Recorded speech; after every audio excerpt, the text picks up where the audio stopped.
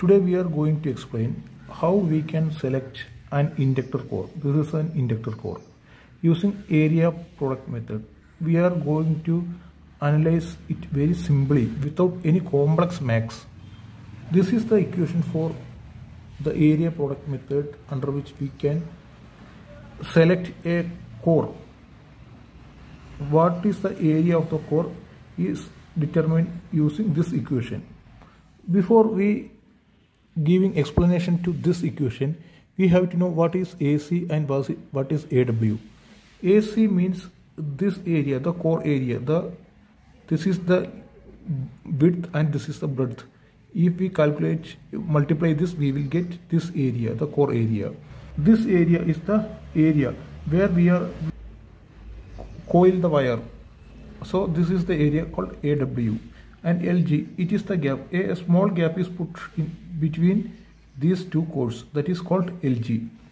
Now how we can explain this equation? We are going to explain this AC, the term AC, how this is term AC comes. If we have a wire like this and a current is passing through it, a magnetic field is generated and the magnetic field value is given by the current through it. As more current flows through it, the magnetic field strength will increase. If we take a point away from this conductor and we measure the magnetic field at that point, that will be less. So as length increases, the magnetic field strength decreases. This is said by the equation. Now, if we wound the wire like this and the same current is passing through this, now the magnetic field increases. Why? Because now each turn produces a magnetic field. So the total magnetic field will be the number of turns into that current. Here 1, 2, 3, 4 turns are there. So 4 into current. This is the magnetic field. If you take a point near to it, the magnetic field strength will be very high. If we take a point very far from it, the magnetic field strength will be very less. Now, if we put a core inside this coil, it will generate a flux. The value of the flux depend upon the permeability of the material. That is given by mu r, relative permittivity. Mu 0 means the permittivity of the air. If the permittivity of the, how much times it is bigger than the permittivity of air. It is given by these two. If we multiply these two values, we will get the permeability of the materials. That has to be multiplied with this magnetic field. Then, then we will get the total flux through this core. If we multiply this with the area of the core, then we will get the total flux. This, this magnetic flux into AC will be given by the total flux. Usually the maximum flux that can provide by the material is different for different material. For ferrite it is around 0.2 Tesla and for iron it gives more flux that means 1.5 Tesla. So iron is producing more flux than ferrite. So if we multiply this flux density with the area we will get the total flux. If more areas there so it the core can occupy more flux more, as it is it it has more area it can occupy more flux now flux can also define in other term. As this magnetic field increases this is the magnetic field ni by l and if the reluctance reluctance means that is opposite to the mu r. That means if it is increasing the mu r decreasing. Mu r decreasing means the flux through it it cannot conduct more flux. So as reluctance increasing flux we can also write like this that means flux is equal to magnetic field strength by reluctance. So we have written like this that magnetic field strength by reluctance or ni by l by r. Both are same. Now what this equation is saying? What what this equation means? That means when a current is flowing through this these coils and these coils have this much number of turns. And the current flowing is this much. Now it produces a magnetic field.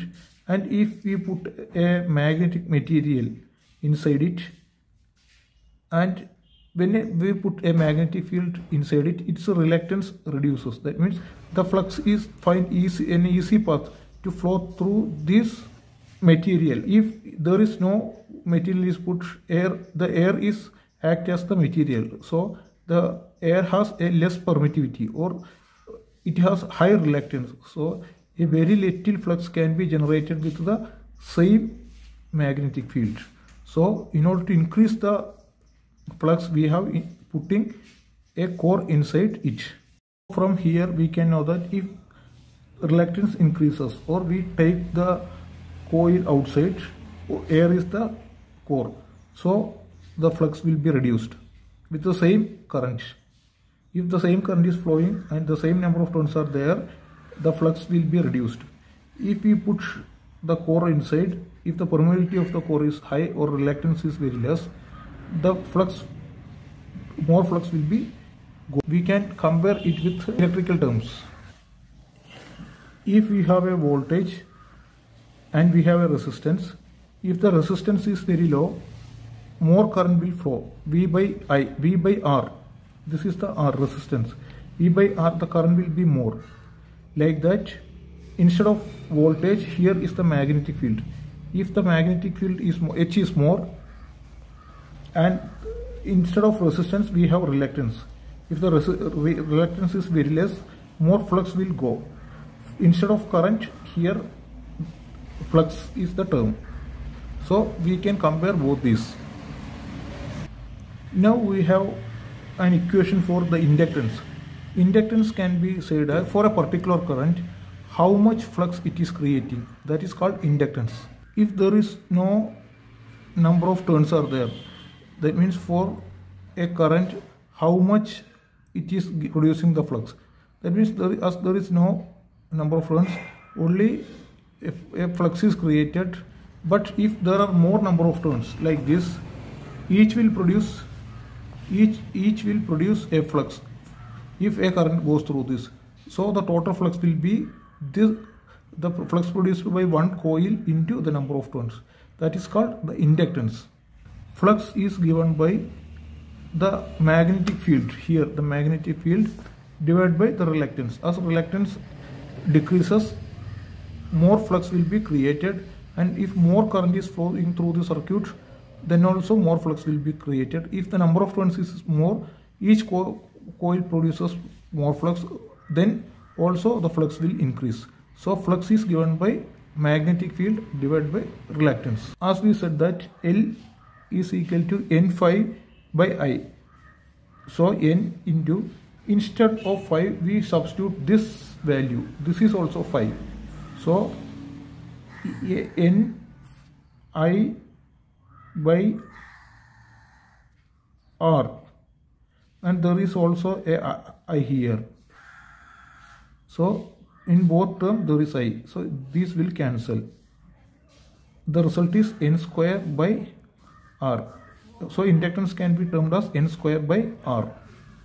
We have already said that inductance is N phi by I. If we expand this equation, Li is equal to N phi. Now we if we further expand Li is equal to N. Phi can be expanded as Bm into AC. That we have already said earlier. We have said here that Bm into AC is phi. So, so we return phi as Bm into AC. From here we can calculate the AC. So AC will be given by Li by Nm, N into Bm. So now we get the term AC. AC is Li by N into Bm. What is this term? L into I. As we know that L into di by dt is, is equal to voltage. If we consider the di by dt, that this dt as 1 second, then it will be L into di means I. this is voltage this is actually voltage so we can substitute it as voltage by if we take this bm to the top side then that will become bm into ac divided by n. What this means? This is the flux. Bm into ac means flux. And n is the number of turns if there are this number of turns if we say four number of turns is there and the flux density if if we say taken ferrite its uh, bm is 0.2 tesla. And it is that then how much area is required to withstand a voltage a particular voltage. If this is 10 volt if we the core has to withstand 10 volt and material used is ferrite it can handle 0.2 tesla. And if we have a 4 turns number of turns is 4 turns how many area is it required? That is what this equation says. So the AC is mostly related to the voltage. Now we want to look at the AW, the term AW. AW means this gap. What the important of this gap is that we are wounding the these coils. These coils are wound on the core and this is the core. In this core we are wounding the wire. AW says how much area the core is needed to handle a particular amount of current. And that is given by n into irms is equal to kw aw into j. What this means? J means the capacity of a wire to handle the current. How much it can handle? If you take copper it can handle 3 ampere for every mm square. If the wire size if this is the wire if the 1 mm square can handle 3 ampere. And aw is the area as we said that this kw is the actual copper area. We have usually insulation between wires and we have also put insulation between each layer of wires. So the total area will be very the copper area will be very less usually that value will be kw will be around 0.35 we assume that if the area is 1 meter square when we multiply it, this one with this 0.25 only 0.35 will be available as copper. Remaining area is used for insulation. So we have to multiply it with 0.35 in order to understand this equation we are saying like this. If we take this aw into kw what this means? What is the actual area that we can use? If the area is 1 meter we are wounding these wires and putting insulation between them. After putting all this insulation we will only get a small area of copper. That is what is this side gives now what this term means? This term means what has to be the if we want to flow 5 ampere current through it. If we want to pass 5 ampere of current through this and we are using copper wire then the copper wire has 3 ampere per mm square. The maximum capacity the copper wire has 3 ampere per mm square. So we have to use thick wires. So we will divide this 5 divided by 3 if you say 6 for uh, we, if you take 6 ampere 6 ampere current has to be passed through it and 1 mm square copper will only giving path to 3 ampere. Then the diameter of the copper wire should be 2 millimeter square. If 1 millimeter square is used it can only pass 3 ampere. Here we have to pass 6 ampere. So the diameter of the wire is 2 mm square. Into number this is the diameter. If multiply with number of turns if the number of turns is more we want more area. As the number of turns increases we want more area. So if, if we want 10 number of turns 10 into 2 mm square will be the area. So as current increases, the mm square increases and as the number of turns increases also the area we want to wanted is increasing.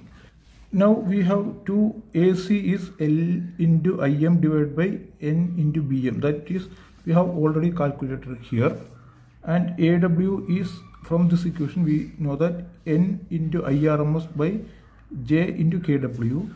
So if we multiply both this AC into AW we will get L into IM into IRMS into N divided by N into BM into J into KW. These N and this N will be cancelled. Now the final term is L IM IRMS divided by KW BM into J. This is the area product method. This is how we are calculating the core needed for inductor.